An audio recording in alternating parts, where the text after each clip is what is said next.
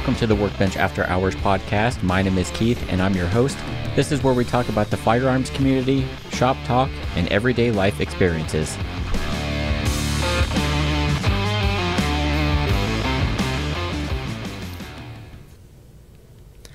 Welcome to episode number 22 of the Workbench After Hours podcast. Today we got a cool topic. We are talking everything AR 15.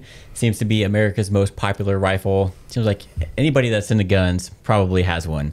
So, Hunter is kind of new to guns and he eventually wants to get an AR. So, he's got some questions that he has that some other people getting into the platform might have as well. And then we're also kind of go and dive into talking about how it works, the different parts, and what you can do with it. So, but before we do that, Hunter, what are we drinking today? Today, because my wife and I ran to the grocery store and we had some frozen stuff in the car, so I was going to go find a cool bourbon that we hadn't tried yet. But the liquor store I went to, unfortunately, didn't have anything that we haven't either tried yet or that wasn't, you know, seventy to eighty dollars. So I was like, all right, well, I saw this. I really liked Jameson when I was in uh, college. This is proper 12. It's an Irish whiskey, just like Jameson, um, but it is um, Conor McGregor's brand. So I thought, well, we haven't been we haven't tried anything too crazy since the Japanese whiskey, which Yep. nobody was really a fan of. But thought, well, let's give this a shot, see how it goes. So All right, let's try it.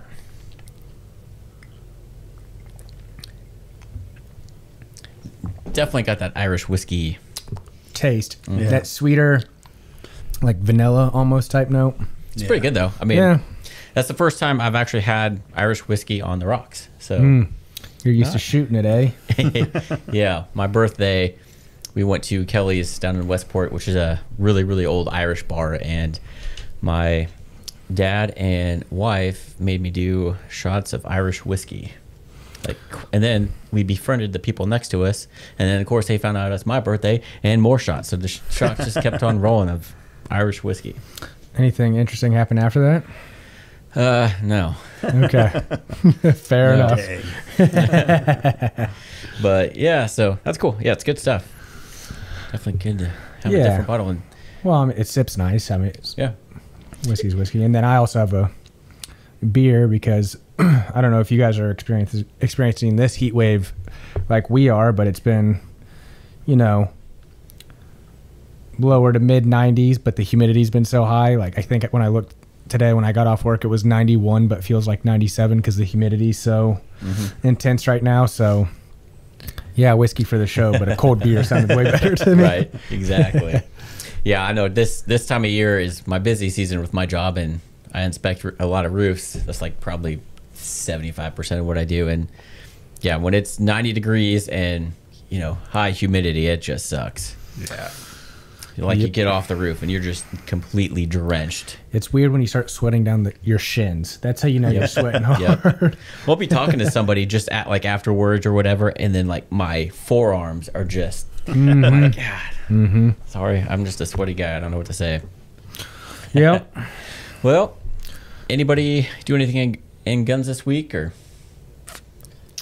That's a no. Big fat goose egg over here. Yep. I don't. I don't think I did anything either. Haven't. I've been waiting on Chris to bring his Glock 19 over, which he did tonight. So I'm going to be doing a video on YouTube, hopefully this week or so, and comparing the Springfield Hellcat to the Sig P365 XL. And then you gotta have a Glock 19 because what's a gun comparison without bringing in a Glock 19? True. So, yep, just waiting on that. everyone, everyone loves a Glock. Yep. So that'll be cool. It'll be a little three way comparison then, huh? Mm-hmm. Or are you gonna just have the. Hellcat versus the? it ain't gay if it's three way. Uh, everybody's got the. Or so you're doing the Hellcat versus the what? The Sig P365 XL. And then so are you just gonna Basically, talk about the 19 as well, or are you? I'm just gonna. that's it? gonna be a kind of a bonus thing because I'm gonna Mm. compare the the main two and show like the differences and what each one has, and because most people know what a Glock 19 is or or its size. I'm gonna just co- compare those other two to the size of the 19, so everybody has an idea. Yeah. Makes it a little bit easier because And I've had my eye on one of those P365. So Mm-hmm. Yep, the cool XL is a little bit larger, and it, that way you it feels better in your hand. Mm-hmm. It seemed like everybody had the last couple years a race to see who could make the smallest gun possible, yet hold the most rounds. Yeah. Now that that's over with, everybody's coming up with larger versions of those models. that are more comfortable in the hand. Yeah. So you have the 365. Now you have the XL. I think they have an X model, and then Springfield Hellcat was like the smallest, held 13 rounds, and now they came out with the Pro, which is the little bit larger version. Mm-hmm. Which you would think the Pro would be the smaller version because it's a lot more complicated to shoot. They're, they're pulling an apple. yeah, yeah, exactly. It's the SE model? Yeah. and then what was that one pistol I was looking at? I think it was a shield. Yeah, The you were looking. shield. The shield, but it was like a. it was slightly bigger, like we were talking, like with the Hellcat and the Spring, the 365 XL. Can't remember what what the exact model was. Yeah, but it was that same Size. size where it f- actually your pinky wasn't hanging mm-hmm. off the the end. Still both. I think it was still a single stack, right? I don't know. Can't remember. I don't It's remember. been a, it's been a hot minute. yeah, it's been a long time since I looked at And that. gun gun business has been slow, so I haven't been selling so many guns. So yeah, it's been crazy. I need a gun show, but the local Overland Park one hasn't isn't doing it this year. So I got to drive At all the all way. this year? Yeah, it hasn't popped up at all. Hmm. You know, it has popped up. What? A disc golf tournament that I will be playing on Saturday that I signed up for last night. Yep. I know we always talk. Disc golf's not officially part of the workbench after hours, the WAP, but WAP. but since I talk about it all the time, I some guy was talking about it. It's down in Ottawa. It's probably thirty-ish miles south of here, and uh, there's three open spots left, and finally didn't have to be on the wait list for one. I could just sign up and good to go. nice, nice. There's two open spots left, Chris. Chris is uh, on a break from his schoolwork right now. Yeah. It's been What's going on with that? well, it's finals week, Yeah. and I'm a procrastinator, so I like to do everything last minute.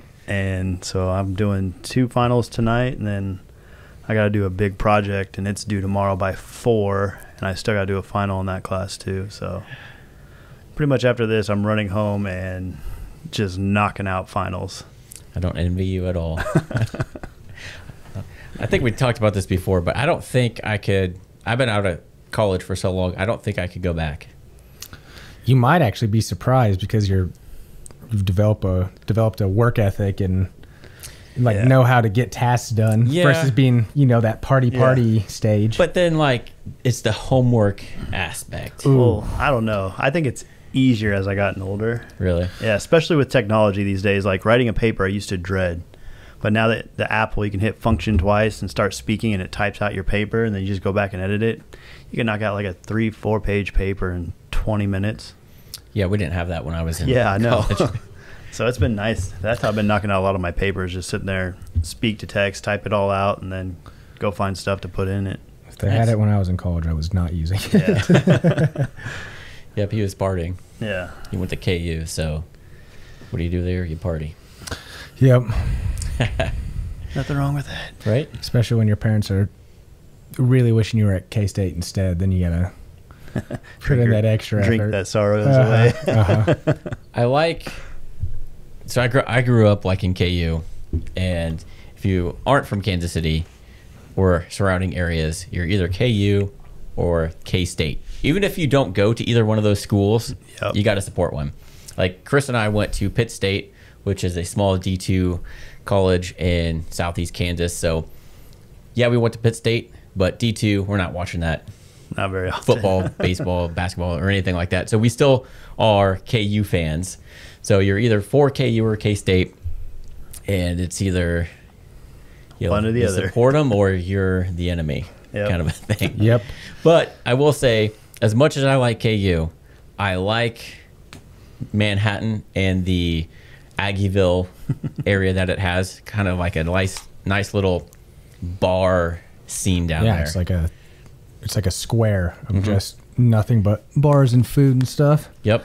Whereas KU, you've got Mass Street, but that's a little bit farther away. Well, it's a little bit of a way away from the uh, the triangle, which is like the hawk, which is the underage bar, and then the wheel and the and the bowl. Um, so you had to do a little bit of walking if you wanted to go one or the other. Where Aggieville's all Yeah, because proximity wise, KU they're all further apart than yeah yeah yeah. yeah. Aggieville. You're in like one. That's essentially what I was trying to say. One Thanks. block area. yeah, Aggieville. It's all in like a square block. Basically, you can walk mm-hmm. bar to bar to bar, and it's nice. Yep. Although I went back after college several several times after college for some bachelor parties, and it's not the same. I was like, man, I'm too old for this because you know when you're in college, your main goal is to go out and just get trashed. Yeah. When we were there, I'm like, man, I gotta pace myself. First of all, we're here for a couple days, so I don't want to feel like crap. That, you know, tomorrow. So yeah, it was uh, different. Still fun though. Some good.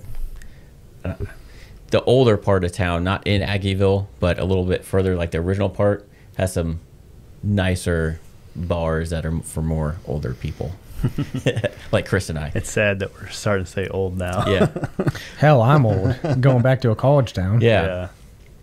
But well, cool. Well, anything else you guys got? Nope. No, no. All right. Well, I guess we'll jump into our main topic, and that's everything AR-15. Everything AR-15. Yep. So, as Keith calls it, the trifecta. I'm at the bifecta right now. I've got a pistol and a shotgun. So now I need the sporting rifle. Mm-hmm. And everybody goes with AR. It's all you hear about. AR, AR, AR. Keith certainly is an advocate for him, as Chris is as well. So, I guess right off the bat, in your opinion, why are they so popular and, and why are they so sought after? I think the main reason is one they're they're highly customizable. You can buy one from a manufacturer pre-built off the shelf or you can build your own to however you want it. So you could spend $500 on one, you can spend thousands of dollars on one. There's so many different manufacturers of parts and kits and all this stuff out there that it's so easy to make it your own basically. So you And- Mm-hmm. can mix and match those different parts. You don't have to buy all from one specific Nope. manufacturer. Yep, as long as it's for a an AR-15 and because there's the AR-15 and the AR-10 which we'll get to, but as long as it's for the AR-15, it pretty much nowadays all kind of jives and goes together. And remind me again what AR stands for. Armalite. That's the first manufacturer of the AR-15. Arma Light. Yeah. Armalite rifle. Hmm. Where's the oh the rifle? Yeah. Is the okay. Which was developed by AR Stoner. Yeah. I, But if you listen to the news, they're going to call it an assault rifle. That's what they think it stands for. Right, right, right. Well, I was just going to bring that up. Got uh, Bryce, who you've heard us talk about. He was he was calling it an assault rifle, and I was like, I I know that's wrong. I cannot remember for the life of me what it actually stands for. The AR stands for, but I was like, I'm pretty sure an actual assault rifle is a fully automatic weapon. Yeah. Yeah, and I think the By term definition, assault if- rifle is kind of made up by the media. I think that, and it's to scare people. Because what the whole- what the military has, the full auto version is an M16. Yep. It is completely different than the AR-15, which the civilians have. Three shot burst on Call of Duty, Woo, lethal. Oh yeah, I would much rather have a M4. have an M16. M4 but- carbine, right? Mm-hmm. That's the fully automatic. Mm-hmm. Yep, M4 and then M16. Whereas civilians, you we can own those, but most of us are going to be stuck with the semi-auto sporting rifles, the AR-15, Yeah. So and they're the ammo for them is cheap. They're small diameter rounds, so they're just a step up from like a 22 long rifle. So the little plinking guns, um, and there's no really no recoil. You get a little bit of recoil, but not a whole lot. So they're super easy to handle as well. Mm-hmm. And they're just once you learn about it, they're easy to maintain, shoot. So they're they're very simple and just, I mean, yeah. I call them the Jeep. they're America's gun. Yeah, it's the Jeep of guns, pretty much, because everything's customizable on them. Everyone's got parts for it. Yep, yep. So Hunter said the trifecta. I said you got to have a pistol, a rifle, a shotgun. Mm-hmm. Okay, so now that we know why they're so popular, but you keep talking about all these different parts and stuff. Mm-hmm. Let's do a little breakdown of the actual parts that go into the what what's the makeup of the AR. Right.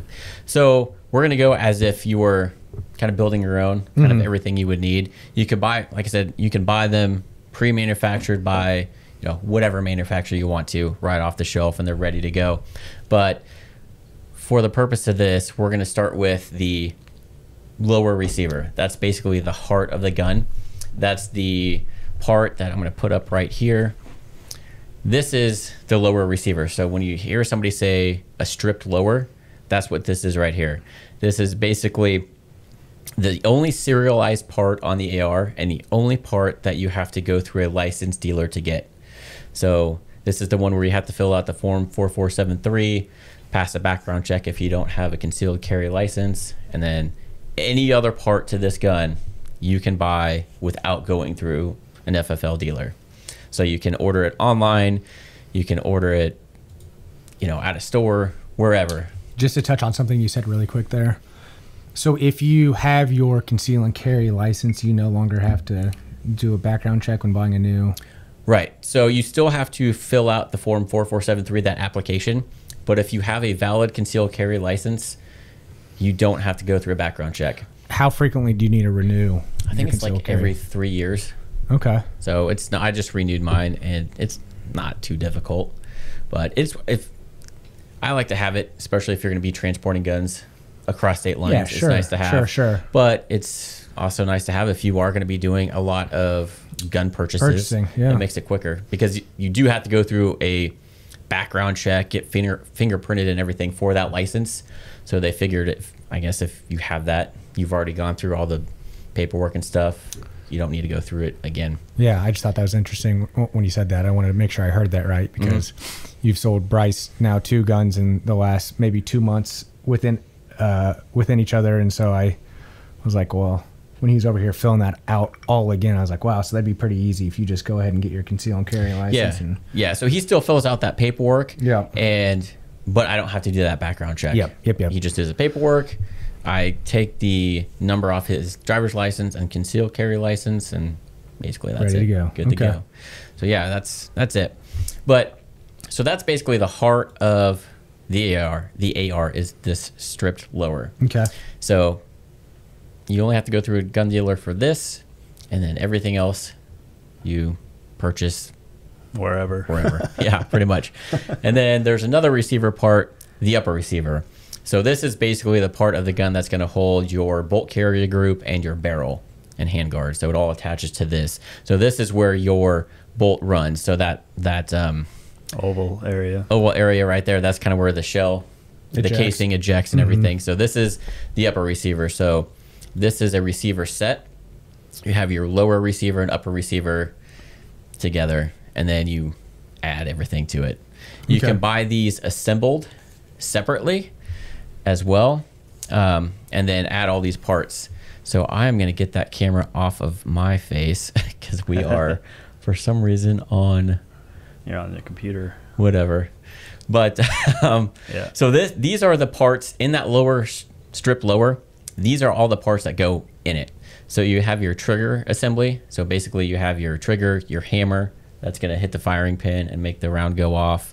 Um, your disconnector, bolt catch, your safety selector, and then all these springs and detents go within there to help make the parts move.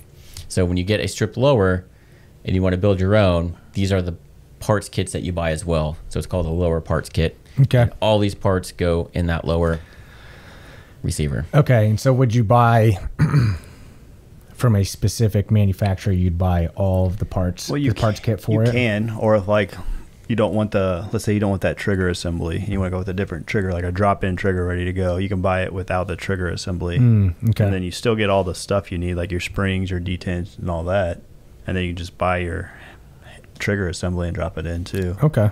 So it's it's really on what you want. really is what it comes down to. Gotcha. Gotcha. Yep. I so I'm a dealer with Aero Precision. I really like their products. They're based out of Washington State, and I've built, I don't know, like oh, around 20 of their r- rifles using their parts, and I carry them through the business, and I, I like them. They're awesome. So they they sell it in all sorts of different ways. You used to be able to buy full rifles for them, but with the pandemic and everything, really they sell parts now. But so they sell a lower parts kit that includes everything that you need, including the trigger. Or if you want to get a different trigger instead of the mil spec trigger, the standard trigger that comes in all of them, and say you want to get a match grade trigger or something, you can get a lower parts kit, like Chris said, without that trigger, and then you just buy a separate trigger. So that way you don't pay a little bit of extra money for a trigger you're not going to use. Mm-hmm. You pay less for everything but that, and then you put it towards your trigger that you want. Okay. Is there anything else you want to show me on the anatomy? Um, not of the lower. We got the lower parts. So this is another kind of exploded view with the grip. Um, so this just kind of labels more of the parts and kind of, I guess, where they go. What goes where? Yeah. Yep. So where your spring detents go, your trigger, and everything like that. So back here, towards the back, that little loop, that's where your buffer kit goes. So your buffer spring, and we'll we'll get into that as well. But that's that's where all that goes. Um, that is something else that you need to complete your lower to put the stock on. But as far as the internals, this is what it looks like, and it looks complicated, but it's really not. Once you do it a few times, it's it comes as second nature. Like I can do it without looking at any instructions or anything like that. And but are you saying detent? Detent. Yeah, they're the those Detensifier? Is that what the? det those little those little guys right there. Mhm. Those are detents. Is that an abbreviation for something, or is that just Oh, detent? But they're That's what that's what the the word is. Okay. Detent. Yeah. It it holds in a couple parts with the spring. Okay. pretty So- much your breakdown pins, I think it is, and your safety are the only ones that really have those. Yep. So yeah, so when you know that when you the takedown pins to to separate the lower and receiver, you pull mm-hmm. them. There's a detent in there and a spring that the spring helps it move back and forth, but that detent helps it from popping all the way out Okay. the part, and that also holds in your like Chris said your safety. Okay. So it's unfortunately you used to be able to find videos on YouTube how to build those, but you cannot. I used to have them on YouTube and they took them down. So that's how I learned how to build ARs and all this stuff is from YouTube. Yep. Unfortunately, I can't.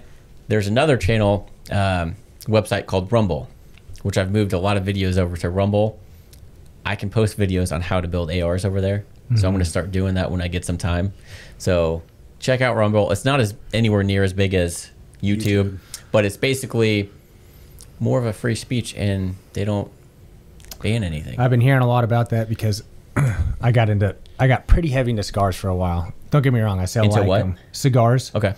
But I used to watch, you know, because I couldn't figure out like guys would be like, "Oh, it's such a delicious cigar," or blah blah blah. Because it's just like anything, just like drinking whiskey or whatever. You can taste different flavor notes in it. You might not necessarily, you know, you just kind of have to refine your palate to think about it. So I used to watch these cigar videos, and then I've seen like, I haven't unsubscribed to any of them, but I've just seen on my feed all these videos like probably my last cigar video on YouTube, all this stuff, because I guess anything tobacco related now is they're going through and just doing mass deletes on people's mm-hmm. channels. And so, anyways, just bringing that up because they're all moving all their stuff to Rumble. So, Yeah, it, yeah, it's just like YouTube. Search, subscribe to channels. Um, we can monetize over there without meeting a minimum criteria. Unlike YouTube, you have to have a thousand subscribers plus four thousand watch hours in a one year period, which can be hard to get if you don't have a ton of videos. Yeah. But so yeah, keep a lookout for that. And there are videos already on how to do it. So that's how I learned. There's other avenues to learn as well if you want to build your own. Hell, I'm sure if you got a gun, a buddy that has gun nut, he probably can walk you through it too. But yep. Uh, so the other one, so as we had the upper receiver, this is a complete upper. So you'll see at the back there is what was the receiver, the stripped receiver that we had there. But this is with the barrel and gas tube and block and handguard installed. So basically, you just attach this to a completed lower. You still have to put put a bolt carrier group, and I don't think this has a charging, Charging handle, handle, there. yeah. But put those in there, and then you're ready to go. So this is for the most part a fully assembled upper receiver. Um, the thing that makes the gun run, and you can't really see it, it's underneath that handguard that attaches to the barrel. Yeah, it's the gas block and gas tube. And we'll show you how that works, but that just is what creates the function of the gun, basically. Okay. So again, this is Aero, Aero Precision upper, love Aero, and then this is a complete lower. So you can build them to like look like this, or you know, there's a bunch of different styles out there, but you can buy them completed like this, and then if you have a, your own upper receiver, just put it on here, you're good to go. Okay. One thing to note though, when you're buying these, so if you buy a complete lower receiver like this or the strip lower like this, at that point, they're not considered firearms yet. They're a frame or a receiver. So they fall under the other firearms classification. So with rifles, you can go buy a rifle in most states, whether you're out of state. So somebody from Missouri can come buy it from me, a rifle, not a problem. If it's not fully built and you're buying just a strip lower or the lower receiver completely built, it still falls under that other firearm classification, and you have to be a resident of that state to purchase it there. Okay. So, because it's not yet a functioning rifle, because you can still turn these into pistols, which we'll get into. So, just keep that in mind. So, if like you're in one state and you want to go to another big gun show in another state, if you don't have a driver's license in that state, you cannot buy from that dealer a strip lower receiver. You could buy a full rifle, but Yeah. it's Okay. stupid. It's ridiculous. I don't- found that out the hard way. yeah. So Chris and I did Yeah. um, way before I got my license. We went to a gun show in Kansas City, right across the state line. Tried to buy our lower receiver, and they said we couldn't. Yep. And I lose so much business at gun shows because of that too. I've seen that. I, the few times I've visited you, I'm in Missouri, man. Well, sorry, can't Yeah. sell to you. Be like, now if you were to put these two together, like the upper and receiver, we'll build you out a rifle. Sure. Mm-hmm. But yeah, as that configuration, they're not a rifle yet. Okay. So, um, and so this right here is a what would be a short barreled rifle.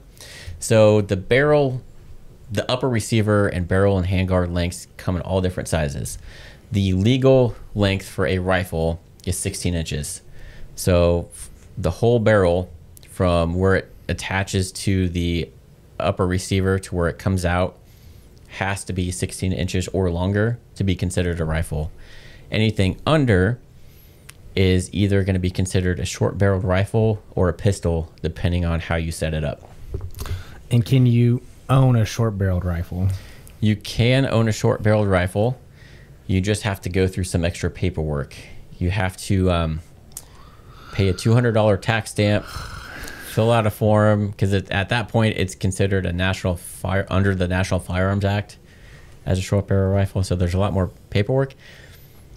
It actually doesn't take that long to get. It's just more stuff to do, an extra two hundred dollars to. Mm-hmm. Yep. Yep. And then whatever lower you put it on, you register that as a dedicated short barrel rifle lower. So a lot of people like to take, you know, say a 10 inch one to make it shorter. So if they're going to use it for home defense, it's shorter to move around. You don't want that 16 inch barrel. You want one shorter. You can do that. But if you put a rifled stock on the back of it, like a solid stock that you shoulder, it's then a short barrel rifle and you have to go through that process. So, yeah. Topping him off. He's got to get ready for those tests and stuff. Yeah. I gave him the eye before I started pouring. Yep. He said, "All right, I can have one more to loosen me up to get this homework done." Yep. Get through this boring podcast. Um, oh my god. That was a close one. I was gonna hand this over to Keith. Oh, I'm good for right now. so yeah, so that's that's a short barreled rifle. And then so if you wanted to turn that into a pistol, it's a huge workaround that the politicians are trying to go after. This this right here is called a pistol brace. It is completely different than this stock right here. This is a rifled stock. It's solid. You put it against your shoulder. It's meant to be shouldered, and you can't use it as a pistol, basically. So any any solid stock like this, if you put it on a rifle, it has to legally be 16 inches or longer on the barrel, or else it's considered a short barreled rifle and you got to go through that paperwork. To get around that, there is now a classification of a pistol AR, and you still have the short barreled rifle, short complete upper, but you have to put a pistol brace on it. And that is kind of a workaround. Real, Yeah. realistically, it's a workaround. Um, it was made for like a wounded vet or vet somebody. or somebody that wanted to shoot an AR but only had one arm. And so they developed this pistol brace to where there's a Velcro piece, that he wraps around his arm, and it's a stabilizer, so that way he can shoot the the AR with a shorter barrel a lot easier. And then they decided, hey, this is a way to make a pistol. I mean, it, it is a workaround, but it's still bullshit that you have to that they're trying to go after it because a short barrel rifle, you're not going to do any more damage or go, be able to conceal it any more than an actual rifle. So pretty much anything new that comes out is gonna you're gonna have to fight against legislation to Uh-huh. make sure to. I, it it doesn't make sense that you can't have a short barrel rifle. You're you can't conceal it. Well, that they said that even if you had like, if they really wanted to go after you in the SBR, they said if you have the means to make one, you can get charged with it. So if you got a shotgun and a hacksaw in your garage that you use for woodworking, you have the means to make an SBR. They can charge you. hmm So Some punk ass shit right there. Yeah, So Yeah. there there's a lot of hey, real quick, before we get going, uh, one of my questions specifically was, and we're kind of talking about it right now, but let's like s- narrow it down more specifically. When you're building your AR, what's specifically legal and what's not? Yep. So if you want to have a rifle, you have to have that 16 inch barrel or longer. Uh, depending on where you're using it for, if you want to do long distance shooting or hunting, you know, there's 18 inch barrels, 20, 22. Um, I think I built a 6.5 Creedmoor and had a 22 inch barrel on it. The longer the barrel, the more accuracy and longer distance you're going to be able to shoot. But the standard is 16 inches. Okay. The military typically is 14 and a half on their M16s and 4s. But that's that's Is that more because Yeah. you're in, you can be in a structured, like a, a building. close quarter combat. Yeah. easier, to move clear. around corners. Okay. But so if you have that, if you built it like a rifle, but you decide to put a shorter barrel on there that is less than 16 inches, and you have that solid rifle stock, you have to register it as a short barreled rifle under the NFA Act. Pay that $200 tax stamp. It's fine. It's just then the government knows you have that, whatever. Um, to get around that and turn it into a pistol, you can get one of these pistol braces that we showed earlier. And as of right now, it's legal to put on a rifle, uh, an AR with a shorter barrel than 16 inches, and it's classified as a pistol. Okay. Um, and then this is what it looks like with that brace. So you still got the short, really short barrel on there and the pistol brace.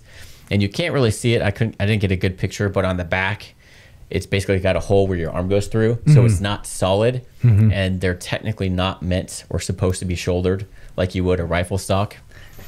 Everybody does it. Yeah. It's, it's like, yeah, huge workaround. And Because there's not a lot of kick to it, anyways, right? Yeah. so if it's not, yeah, and that's a huge. Somebody found a loophole and was smart, and the government knows that now. So all the politicians are trying to go after that. So at some point this year, they're supposed to come out with a ruling on those pistol braces. So it's going to be interesting to see how that changes things because millions of people have purchased those pistol braces to put a shorter barrel on there. So it's interesting to see if they decide to make those illegal. Well, what's going to happen to all those people that how had? are they going to go about going after all? yeah, all if that? you Yeah. have that, are you then a you know a felon basically and have to turn it in? Which why would you turn it in? Or are you going to be grandfathered in, or do you have to dispose of it and put a longer barrel in there? It's all kind of up And in then the do you have an FTA agent knocking on your door saying, "Hey, give it up," or what? and the funny thing, like the ATF, the way they oh, define stuff did I say so FTA, FTA, ATF? yeah, F the ATF. nice, Keith. But we'll see. But as of right now, uh, what is today? I don't know. The 11th. May. May 11th, 2022. Those are legal to set up, and it's basically, I mean, it is a workaround, but um, this is what it looks like. and yeah. So if you wanted to not use that pistol brace, again, put a solid stock on there. You just have to register it as a short barrel rifle. And then going along with those lines, um, for I guess the shot pad or like the trigger, you know, there's like tri burst or fully automatic, all that stuff. That's all you'd have to go through a bunch of paperwork to get licensed for that. So, yeah, if you want to make Let's leave full auto out of it. But Okay. there's like tri burst or there's the ones like anything that shoots more than one round in one trigger pull is considered a Fully full automatic. auto. so what's what's Whether it's- considered a full trigger pull? Like what if you pull the trigger down and it fires and then when you release the trigger it fires another round? Is that considered one trigger pull? That's that's in question. Yeah. So there are some there are companies that make triggers that simulate a full auto, but it's technically you're pulling the trigger once and the recoil of the gun it uses to reset and pull the trigger back itself.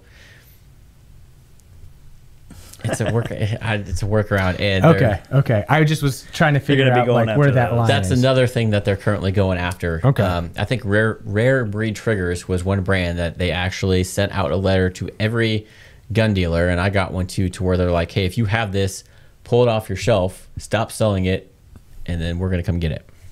And what are those specific triggers called? The ones that use the recoil? Uh, binary triggers. Binary. I think it's Franklin Armory. Yeah, there's a, those. there's a couple of them that make them. But yeah, they're and I've shot a couple of them. They're they're hard to get used to and actually make it to where it's like full auto. But um, any so what it, so basically what it is if you you pull the trigger once, one round comes out, and then you reset the trigger, and then you pu- got to pull it again. Another round comes out. That's semi-auto.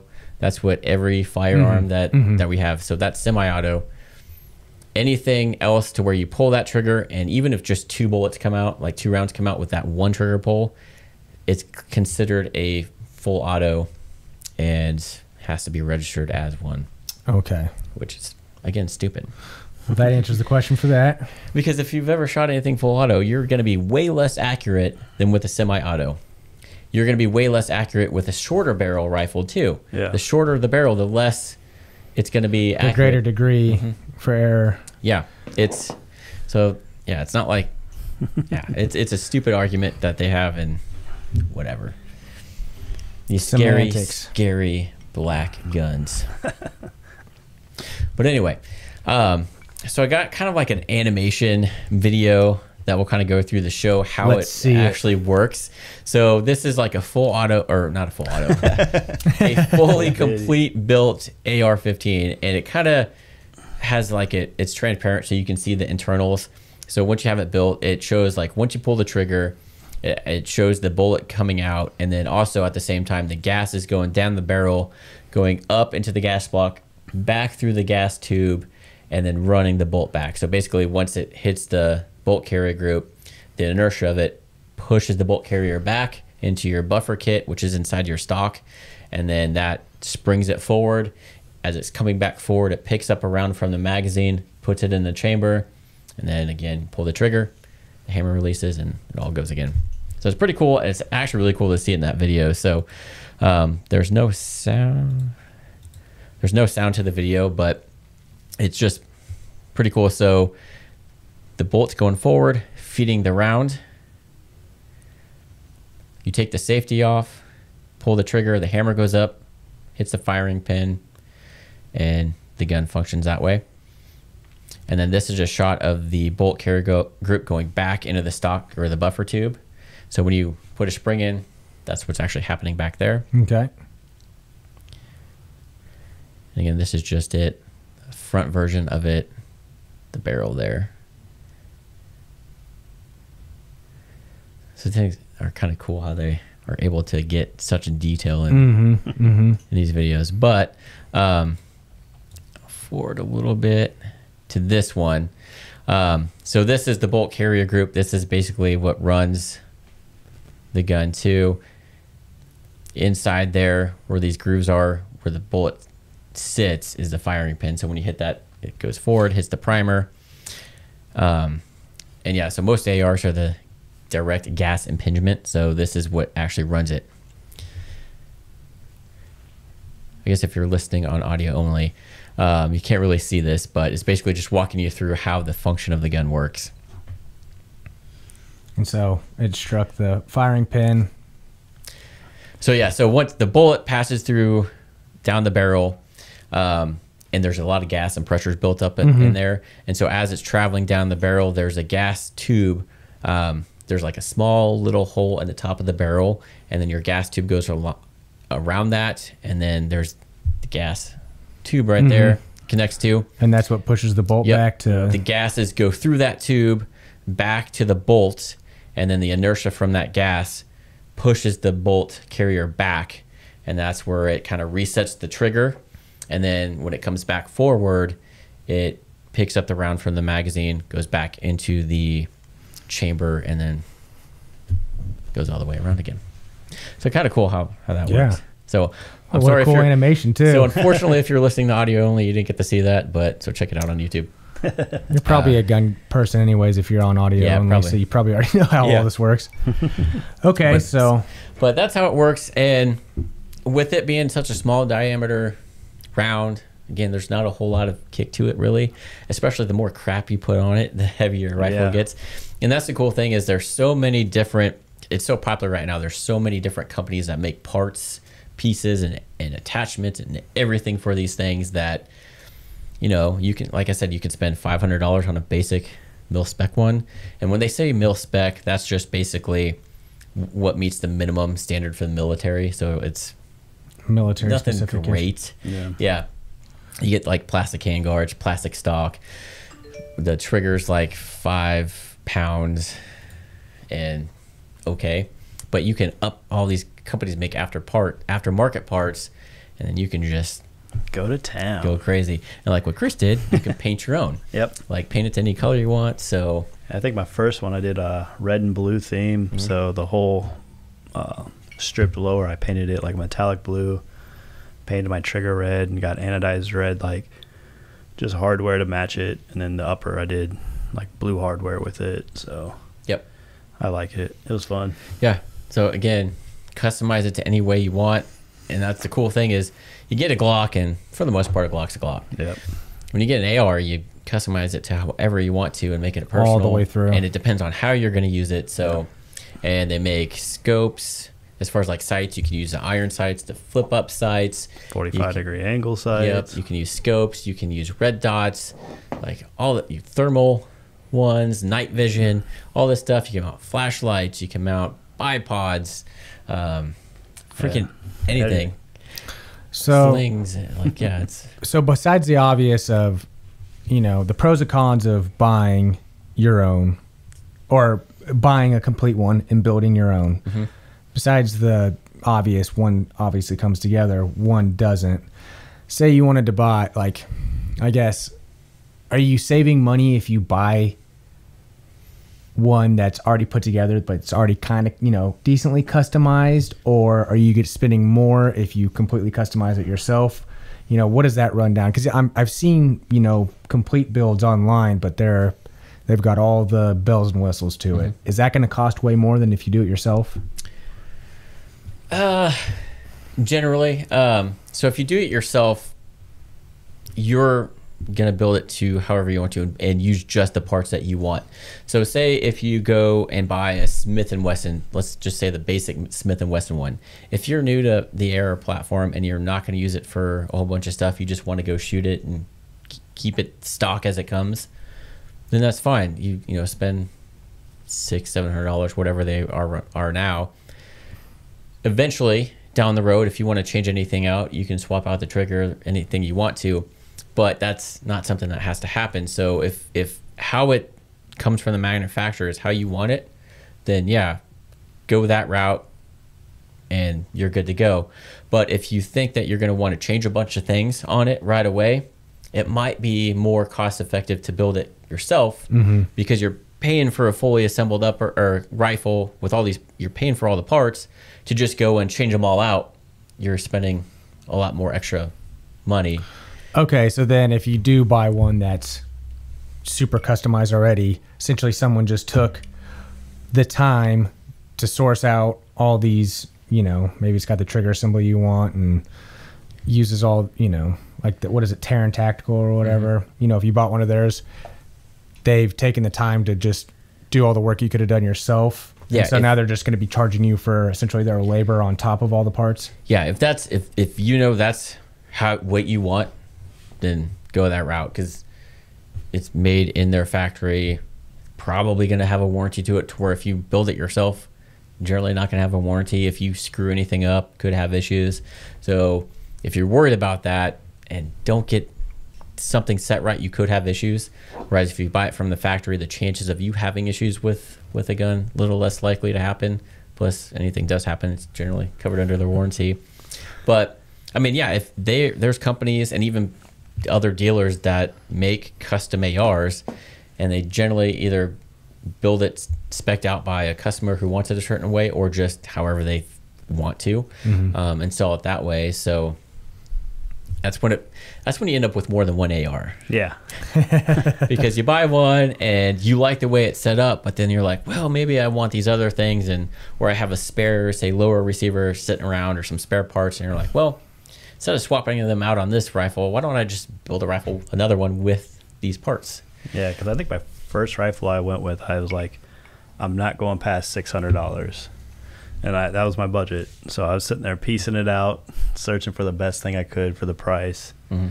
and it was possible. And then the second one, I spent a lot more money on, but Yeah, but I still did it by pieces though. That's the best thing I liked about it because I could buy this piece this month, wait a couple months, and then buy like the barrel that I want and Mm. whatnot, or wait for a sale you know is gonna drop. And get And that bu- get last that piece pla- on yeah. Christmas, and now you got yourself a Christmas Full, present. yeah, and then you got your whole build done. So and if and if you do buy a pre-built AR, depending on who you buy it from, I mean, you could be getting a really high quality rifle as is. You could still add, you know, a sight or whatever attachments you want to it, but like the main gun itself is solid. Like if my, th- if I were to ever buy another one, I would buy a BCM, Bravo Company Manufacturing. They are awesome guns. They are actually used in the military Yeah, I got and some made for the stuff. military basically. and there's all these videos on there because you you see videos of people that'll shoot a gun full auto just to see at what point will this gun fail and melt or whatever.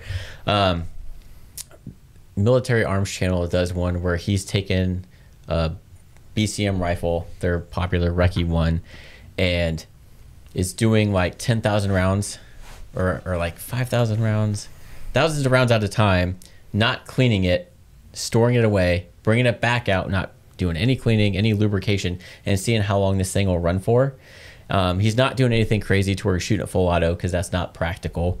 Um, yeah, if you shoot full auto for you know 5,000 rounds, you're gonna have failure no matter mm-hmm. what gun it is. But he's doing it semi-auto, so he'll fire you know maybe a thousand rounds once, put it away for a while, take it back out, fire another thousand rounds, and he's the last video I saw, he was probably tens of thousands, thousands maybe, and nothing, and that's without cleaning it or adding any lubrication to it as well.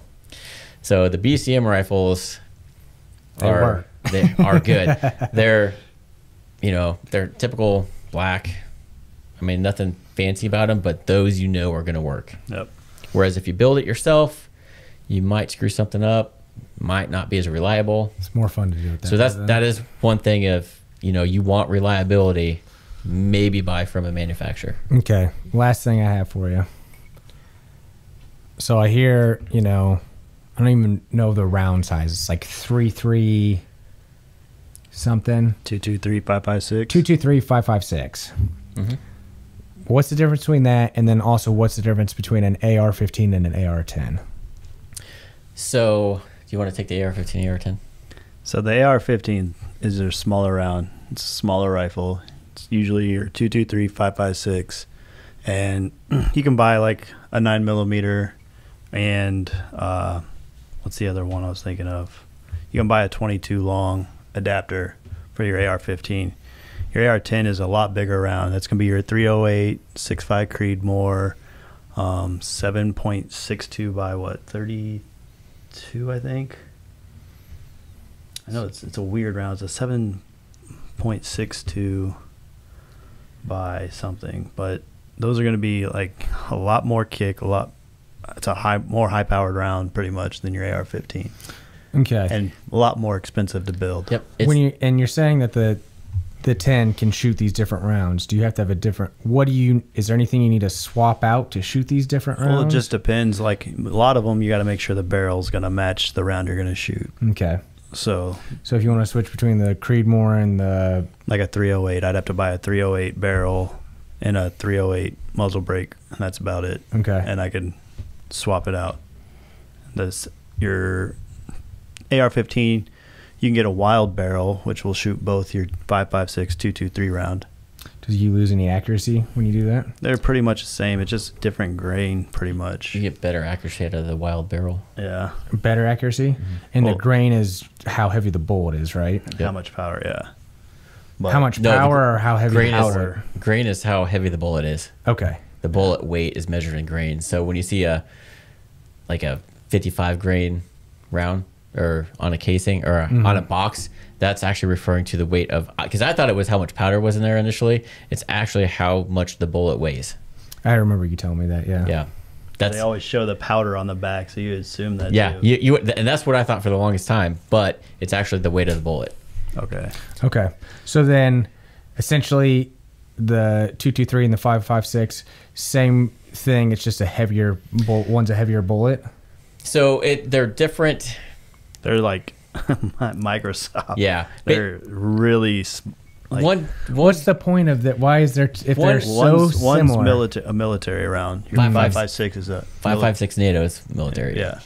and it's going to be a higher velocity than your 223 Yeah. Okay. generally um, but the difference is going to be very minor that's why most ars or ar barrels can shoot both rounds Gotcha. so as long as your barrel says 556 Two, two, three. or 223 on there. Both of them it can shoot either one. That's primarily where you're going to find now. Back you know several years ago if it said 223 that's all you could shoot on there. But now that they're so popular they're making barrels that shoot both. You can also get a barrel that shoots 223 Wylde. Shoots both. Um, Okay. you can shoot 223 or 556 out of there. It's just going to be a little more accurate than your standard barrel. Okay. but generally the difference is going to be price bullet weight is going to be a little dif- difference between the two and then your velocity but 556 nato is generally what the mi- military uses and then the 223 remington is what it is is More of a varmint. That's what Civilian. they call yeah it's a varmint round. yeah you shoot like Damn varmint. yeah Coyotes. Coyotes. Yeah. and then opossums. Yep. Hogs. And then with like the AR-15, you can swap out barrels and do different calibers. So like you can, the next popular one is a 300 blackout. So everything else stays the same. The only thing you have to change is the barrel and the muzzle device at the end of the barrel. Everything else, Three hundred blackout. You said. Yeah. Mhm. And that's just a different bullet size then. Yep, it's it's in between an AR a two two three round and a AR, AK round, which is seven six two. It's kind of in between those. Same magazine and everything. Or You you, can, to. you can use the same magazines. They make dedicated 300 blackout magazines, which I prefer to use just smooth. Just. just to make sure there's no other hiccups. 300 blackout is was made to be utilized best suppressed. So I built one, and that's what I run with my suppressor on. When we went on the shooting day. yeah, Okay. but then like with the AR-10, it's exact same setup and parts that are used in an AR-15, Just a lot bigger. beefed up because it's got to be able to hold up to a bigger round. Okay. So, and then with that, like Chris said, you can change out the barrels and shoot different calibers out of the AR-10 as well. So everything goes together the same pretty much. It's just everything's bigger, beefier, and more expensive. Yep. And weighs a lot more because his. Yeah. We compared a 556 bolt carrier group to his 308 one, and there's a Different animal. big difference. Yeah. Yeah. All right. So Well- there's a lot to it, um, but get into it. I mean, if you're don't want to build your own or a little nervous to, then go buy one. Um, buy one pre-made by a manufacturer. Everything nowadays is gonna work. Yeah. Um, back when, you know, in the '90s, early 2000s, really you had Colts and Bushmaster were the main ones, and adding different parts kind of caused issues. But now they're so popular, everything for the most part, is going to work. If it's cheap, like if you're if it seems too cheap, probably is. Yeah. So spend the extra money, quality, um, for sure. But Pay what you, pay what you get for it yeah, type of thing. Yeah. buy a full rifle. I mean, I love the Springfield Saints. I would probably buy one and not add too much to it. I've sold a bunch of those to some family members, and they're people that are into guns but not gun nuts. So they're probably just going to keep it stock as is. So there's a lot of great rifles that you buy pre-made by manufacturers that really don't need anything else done to it. Maybe add a flashlight or a different sight, but that's it. They run well. Um, and then if you decide to change anything, you can change out the trigger. You can change out any single part on there. Pretty easily. Mm-hmm. Yeah. Yep. Okay. Well, So- cool. Yeah, I uh, I pretended like I had a question about the stock one just for you guys, but I know Keith wouldn't let me get away with buying some off the off the rack No, stock. no. If you want to buy something stock, dude, I would. I would help you out. I would. I would stir you away from the lower end ones, like the DPMS and all that. yeah. Stay away from those. Stay away from this. Keith, you're just supposed to go along with what I'm saying and be like, "Yeah, I know." we we're should gonna get him to get a BCM recce. Yeah. Yeah. You guys are paying for it. Sweet. Well, I mean, Baby so, gift. so if you want to build one for about a thousand dollars, get the BCM recce for another thirteen to fourteen, and then you got a freaking gun that's gonna run Forever. kind of like an AK. It'll run in any condition. But yeah, a lot to talk about. I don't want to cut you guys off short. Is there anything last thoughts you have on the ARs or, Buy or one. anything? Buy one. When Buy you buy one. one, build one. Yeah. You should own one. Okay. They're great. And They're not- If you build one, you'll probably get addicted and build multiple. Yeah, they're Wow. referred uh, to as adult Legos, and Yeah. yeah, Pretty much. and that's what, exactly what they are. yeah. yeah. So they're awesome. Whether you buy, and you can buy them used too. So it- however you want. So didn't answer everything, but if you guys have any questions or anything, there's a lot more to it. We just kind of did the basics. Yeah, 'cause you can Um, in depth real quick on barrels and muzzle yeah. brakes. And, Yeah. Well, I mean, you guys gave me the information that I needed to get started, or at least get started on research. You And know, a- honestly- a, place to begin. It, and it's kind of like anything else. You get what you pay for. Yep. So if you buy a bolt carrier group, you could buy one for probably seventy five dollars, or you can buy one for three hundred. You're gonna get better So you probably out of it. want like the two fifteen to two fifty dollar, two hundred fifty dollar one because you get the three hundred. that's like, you know, anything. If they're the cream of the crop, they might not necessarily be the best, but the name brand makes them look the best, right, Chris? Yep. You know what I'm talking about? yep.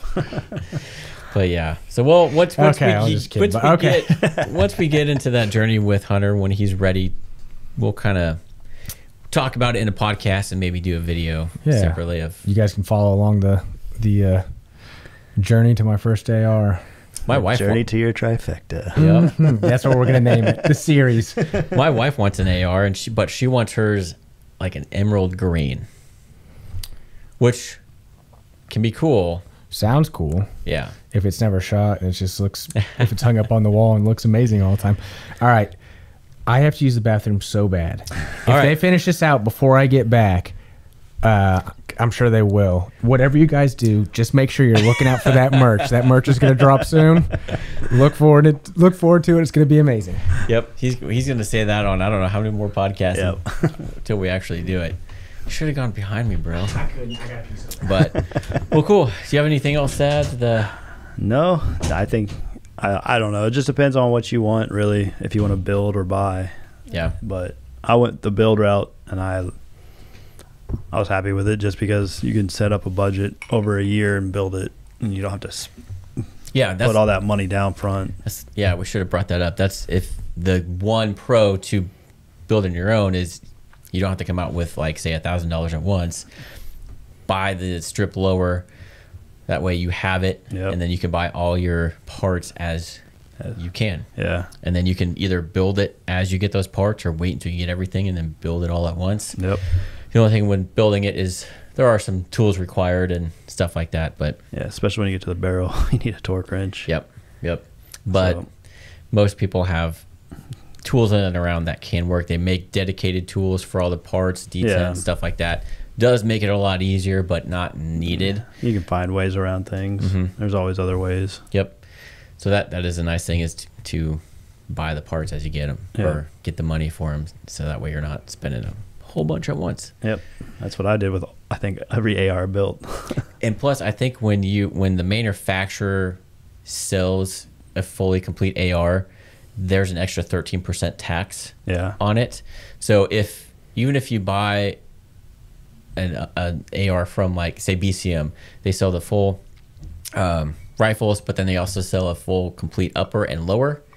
If you buy the lower and upper separately, it's going to cost less because there's not, not there's not that thirteen percent tax. yeah, So that's the kind of a workaway to get a BCM rifle.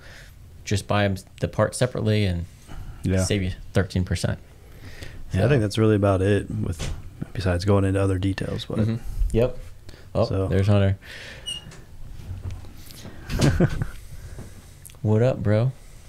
Yeah, still going? Yeah, getting ready to wrap it up here. We actually came up with a couple good points that we forgot to bring up, but you'll have to listen to it to see what they were.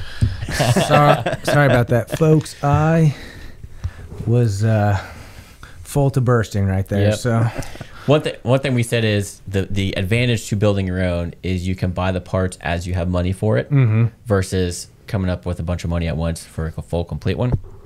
And then when you're buying a full complete one, there's generally a 13% tax on it, not from the gun dealer, it's from the manufacturer and the government, and they put a extra tax on a Yeah. full complete gun. So okay, so yeah, so any questions, you know, reach out to me to have a conversation down in the comment section. I'm trying to answer anything you guys have and and or bring up on the next podcast as well.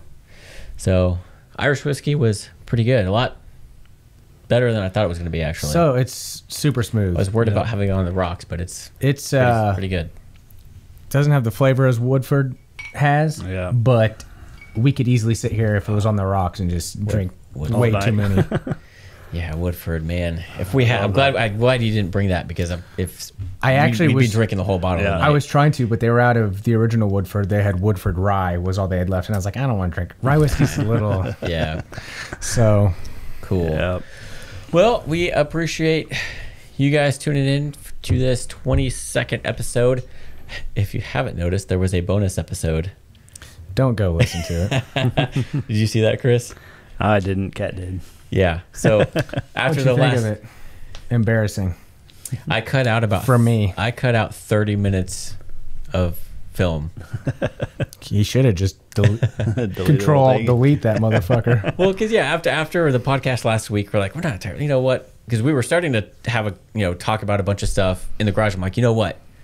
This is what our podcast is all about. Why don't we go up and just keep talking, let the camera roll, and we'll record? We ended up going for Quality idea after several yeah. cocktails because It- like I said at the beginning, the, a lot of the beginning was good. Um, it was towards the end you could tell Hunter was getting a little loopy. yeah, to say the least. Jeez. He was uh, yeah. So I, I kind thought Keith tricked me. I thought we were coming up here just to edit and bullshit and stuff. He's like, let's just do let's just do a quick run through of Yeah. one. And next thing I know, it look talking for an hour and a half. I'm like, Yeah. you gotta delete all of that. I, I deleted about 30 minutes out of there, but I, I tried to edit it to where you can't tell there's stuff taken out. Mm-hmm. So I learned some tricks with editing, at least on the video. I don't know if probably won't be able to tell on the audio only, but it was just kind of a bonus episode. It was we called it 21.5, and then I After cut hours, out. after there was a bunch of us talking like we were trying to figure out what to call it. Stupid. I cut a lot of that out. We told a couple embarrassing stories. We told a few more, but I took those out. Um, and yeah, so yeah, but it's still like 50 some minutes long. So check it out if you want to. You don't have to. It's kind of just a bonus episode. We were bored. It went out on Tuesday at 10 a.m. So um, this one will be coming out Friday at the normal time, 8 a.m. So yeah. Well, appreciate you guys tuning in this week. And if you have any questions, gun related or anything else, just let us know. Have a good Friday. Have a good one. Try to get me. Woo!